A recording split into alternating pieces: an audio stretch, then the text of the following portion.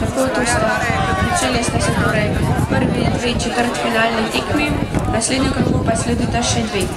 In sicer na igrišču številka dve Triglav Kranj in Ilirija, ter na igrišču številka tri Šampion in Krka Šentjerne. Ob istem času, torej tudi 16.50, pa bo na igrišču številka ena potekala tekma za vrstitev od 13. do 16. mesta med Olimpijo in Koprom.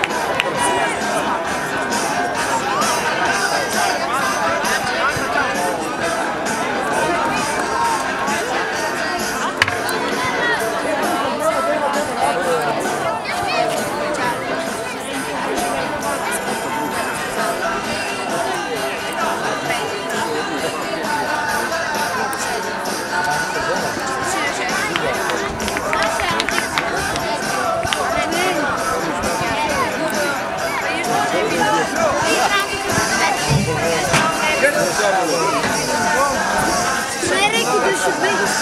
Ben onu kullanmış. Ne kırılsın? Nem precisa com alça, papai. Com alça, hidratos fotográficos. Coragem, hidratos anais e hidratos. Não, não,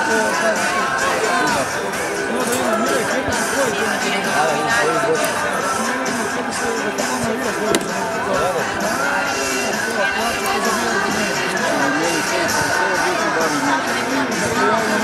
るチームがいのか分から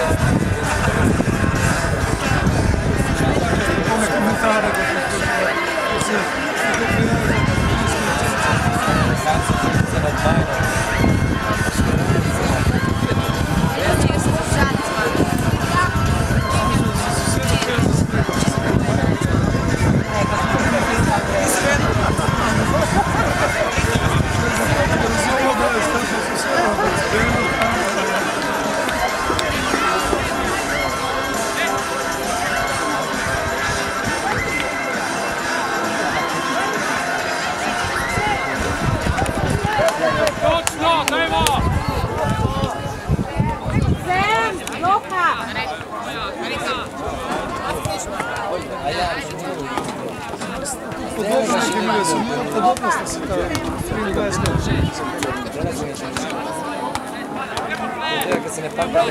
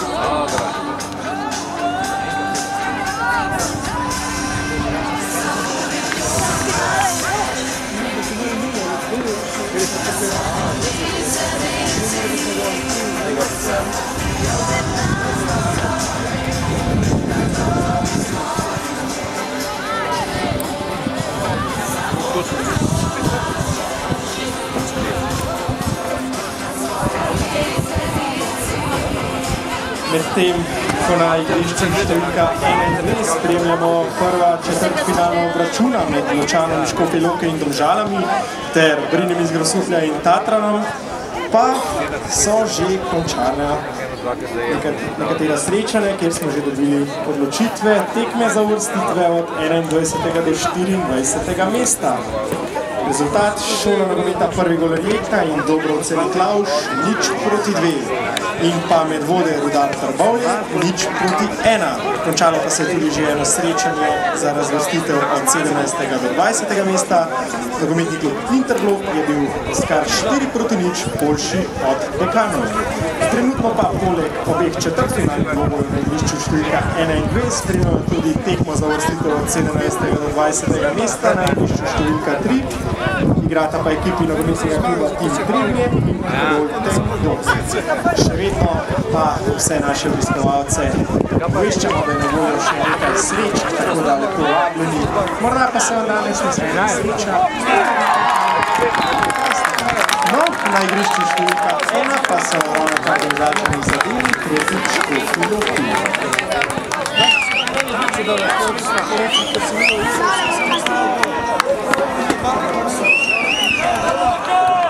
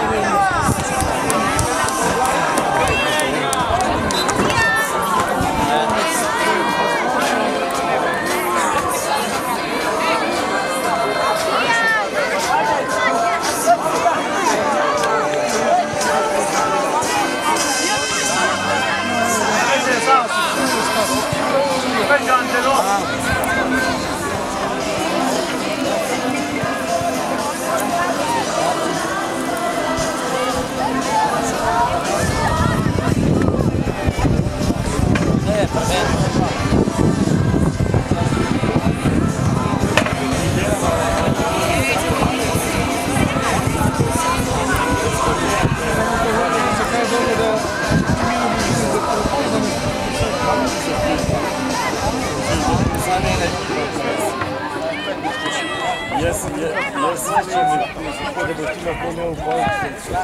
Sreče bomo zmagali, če nas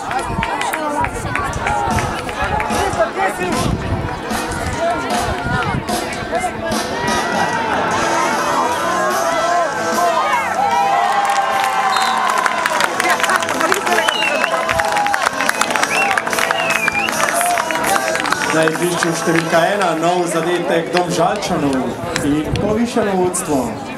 Ja,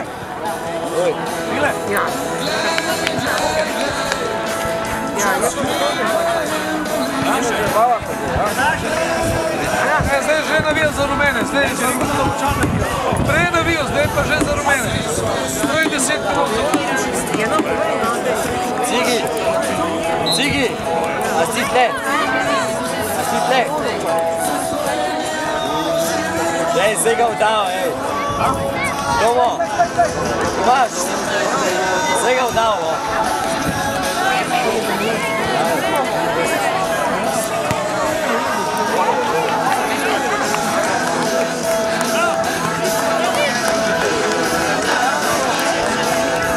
Do zadetka je prišlo tudi na igrišču številka 2. FC Tatran je zadev proti Brinju iz Grosupljega. Do konca trenutnih srečanj še polovica, približno 7 minut.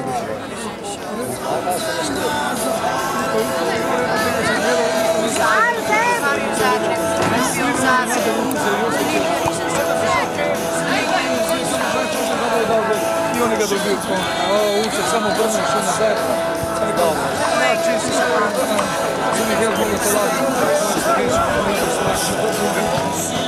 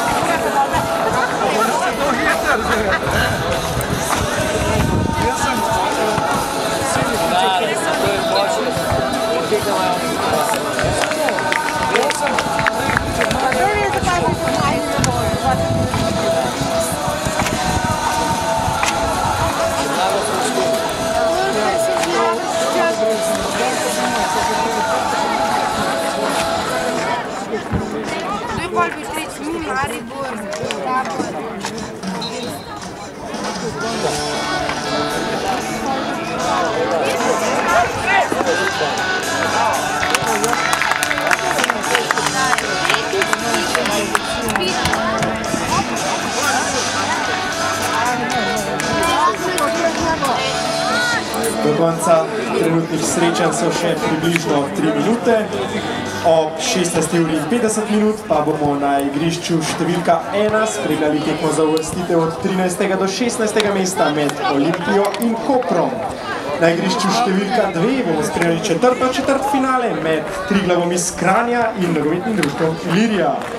Tretje četrt finalne tekme oziroma tretji četrtfinalni obračun pa bomo srečali, spremljali na igrišču številka 3 med nogometnim klubom Šampion iz Celja in Krko iz Šaltjerneja.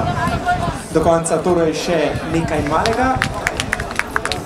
Seveda pa še vedno vabimo vse obiskovalce, da si privoščite kakšno palačinko, kupite kakšno srečko in seveda navijate za vaše nogometaše.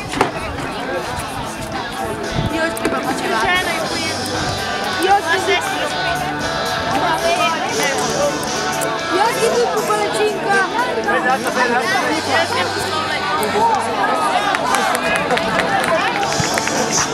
you.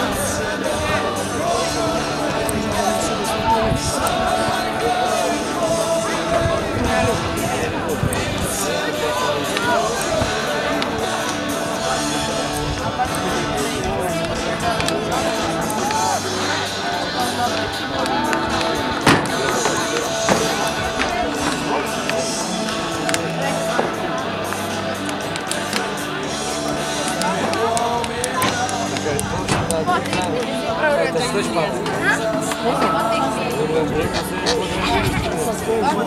Dakle... Ajde, sunce što izgleda nije tako. Kao si ti viš. Ona na karizmu su.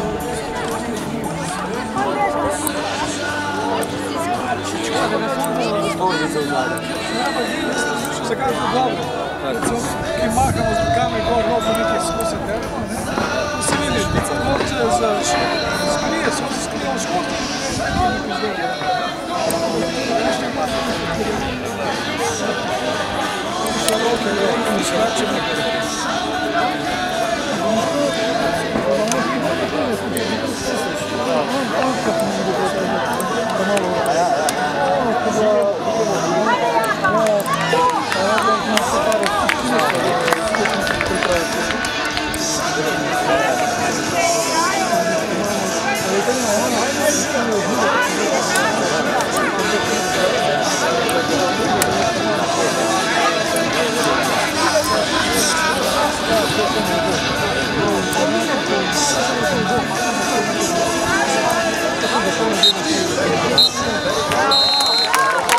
哦